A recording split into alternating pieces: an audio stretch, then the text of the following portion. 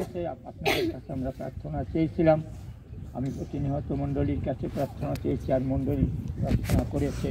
পাড়ার প্রতিবাসী ঈশ্বর সেই প্রার্থনার উত্তর দিয়েছে এবং বিশেষ করে ছাত্র ছাত্রী তাদের তাদের অনুরোধ এবং প্রার্থনা, তাদের দাবি ঈশ্বর তাদের আশা পূর্ণ করেছে, এই জন্য আমরা ঈশ্বরকে বিশেষ করে আমার কাকা সেও তারক এবং মিয়াল, এরা যথেষ্ট প্রার্থনা করেছে এবং যথেষ্ট পরিশ্রম চিন্তা চেতনা এখানে তারা ঈশ্বর তাদেরকে দিয়েছে আর সেভাবে তারা কাজ করেছে।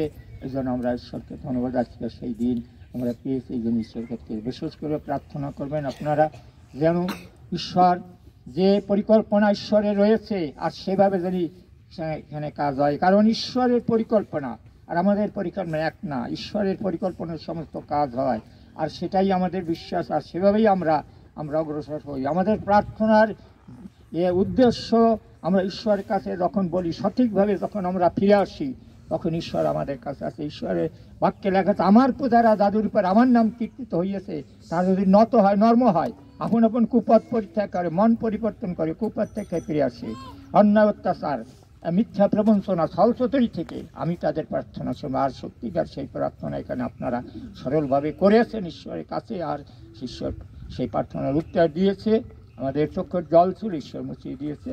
বিশেষ করে প্রার্থনা করেন ছাত্রছাত্রী, ঈশ্বর রাওনাথা এবং বিভিন্ন জায়গা থেকে তারা এসেছে। ঈশ্বর জানি তাদেরকে সুস্থ রাখে সবার রাখে। আর প্রতিষ্ঠানের সমস্ত কাজ যারা করছে।